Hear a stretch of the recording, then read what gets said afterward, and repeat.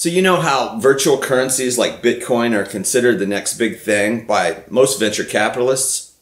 Virtual currencies have the potential to revolutionize the traditional financial system, but they're still in their infancy due to volatility.